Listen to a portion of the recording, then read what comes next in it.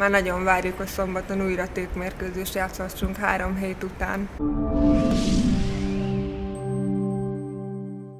Sajnáltuk, mert készen álltunk rá, és egy fontos mérkőzés lett volna, de hát minden mérkőzés számukra fontos és lényeges, úgyhogy nagyon várja a csapat is, és mi is, hogy végen, hétvégén újra bajnoki mérkőzést játszhassunk. Ebben a három hétben sokat edzettünk, csiszoltuk a dolgainkat, amit úgy éreztük, hogy még nem mennek teljesen jól. Mint védekezésben, mint támadásban is egyre több mindent tudunk együtt, és nagyon jól működünk egy csapatként. A hét elején nyilvánvalóan mindig azzal, mindig a fizikális résszel foglalkozunk inkább, és meg feltölteni a raktárakat, és a hét második felve pedig már a játékos edzések mellett ugye már a saját taktikánknak a csiszolásával foglalkozunk.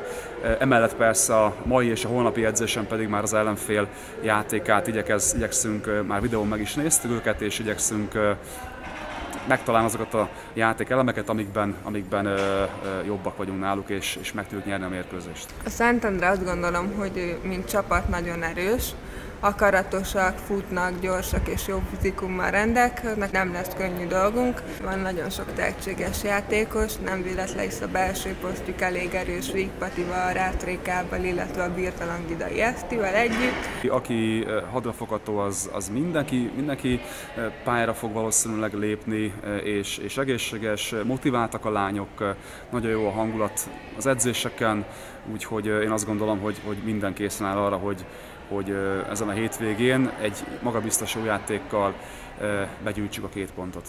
Nagyon futós meccsre számítok, azt gondolom, hogy nem lesz könnyű. Reméljük mindent meg tudunk valósítani a pályán, amit itt edzésen gyakoroltunk és megbeszéltünk, és megszerezzük a két pontot. A Szenten nagyon érdekes stratégiát választ ebben a játékban elég egyedi módon játszák főleg a, a támadásukat. Rengeteg keresztmozgásra, előkészítő keresztmozgásra és két beállós játékra rendeződnek rá, állnak föl. Ennek az a célja leginkább, hogy a, a védők elszámolják és elváltsák magukat, úgyhogy ezzel az ellenszerünk egyébként nyilván az intelligencia lesz, és az, hogy, hogy a, a védőink, akik egyébként harcedzett játékosok tudják, hogy tudják a helyüket, és fejüket forgatva számoljanak és, és, és olvassák a játékot. Hogyha ezt meg tudjuk valósítani, akkor, akkor nagyon nehéz dolga lesz a, a Szentendrének, és ki tudjuk húzni a, az ellenfél méregfogát, illetve jellemző még rájuk az, hogy nem nagyon sietetik a játékot, tehát próbálják a saját tempójukban